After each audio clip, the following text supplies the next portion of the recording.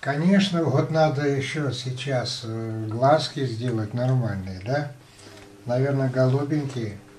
А где же голубенькие у меня? Сейчас, сейчас, сейчас. Нет, голубой цвет у меня сейчас. Давайте я сделаю сейчас голубенький. Потому что очень важно, очень важно, когда рисуешь, запомните, друзья, если ты вошел в поток и вдруг не знаешь, где какая краска лежит, так ты же выскакиваешь оттуда. Поэтому надо знать, что когда ты хочешь хорошо рисовать, рабочее место твое должно быть так обустроено, чтобы ты из потока, если ты вошел туда, когда ты разрисовался, все идет на автомате, рука сама работает, моментально, ты берешь там, там, там, и вдруг ты не знаешь, где эта краска, и ты выскакиваешь. Поэтому надо заранее обустроить рабочее место. И мы сюда вот и поставим сейчас голубенький, да? Потом мы сейчас еще там добавим кое-что.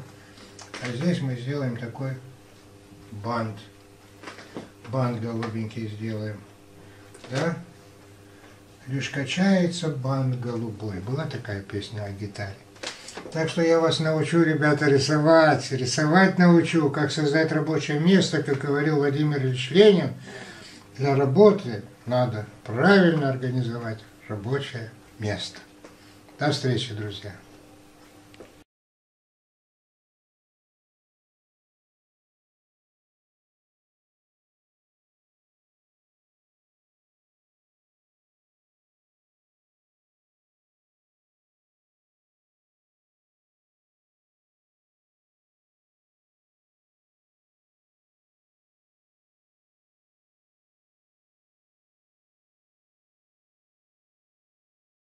Когда вы проходите курс по синхрометоду ключ, вы научались, научаетесь регулировать свое нервно-психическое напряжение, мало того, вы потом начинаете чувствовать и не только понимать, что и как, когда делать. Это и есть развитие интуиции, друзья.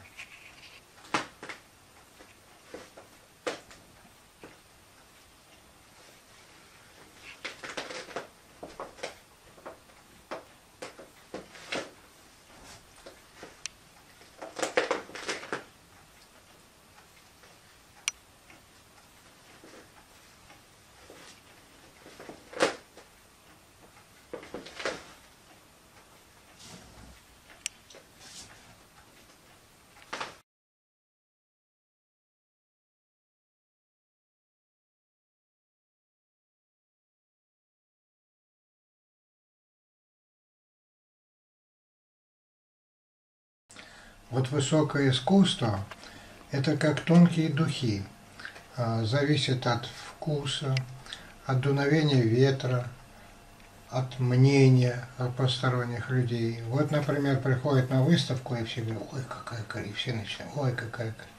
Вот я тоже скажу, ой, какая картина у меня, какая картина, какая она прекрасная, какая она прекрасная. Вот посмотрите внимательно.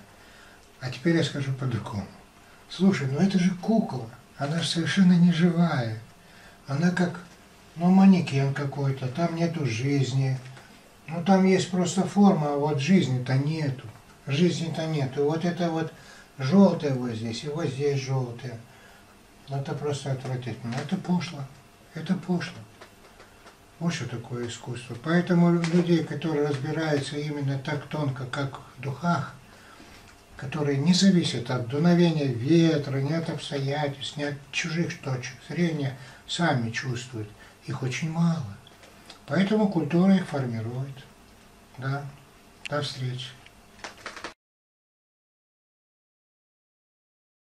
Поэтому рождение шедевра – это поиск. Творчество – это поиск а оптимального решения в условиях ограниченного времени, ограниченных ресурсов – ну что же такое шедевр? Шедевр, когда в картине появляется жизнь. Жизнь, когда появляется.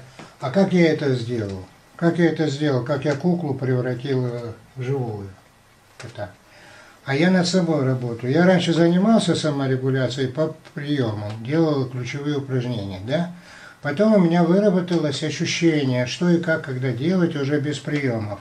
И вот я встал тогда, вот кукла была куклой, а, и задумался, как сделать, чтобы она жила. И тогда я представил себе, что у меня хорошее настроение, что у меня не выживание, а жизнь. А жизнь – это дарение, любовь, это хорошая эмоция. И вот когда у меня была хорошая эмоция, раз, я вот здесь вот немножко глазик подправил, и она сразу стала вот такой живой. Поэтому рождение шедевра – это ищешь, э, то есть творишь до тех пор, пока в объекте, ну в данном случае в картине или в музыке не появится жизнь.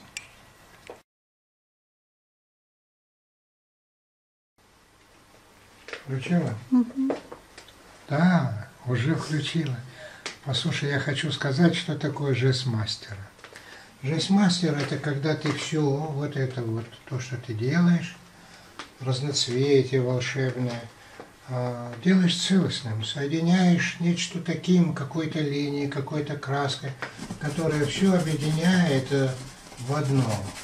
Чтобы была такая линия, как континуум, бесконечность, восьмерка, вот так, вот так, вот она. Чтобы здесь все пошло вот так вот, чтобы она вся соединилась. Вот.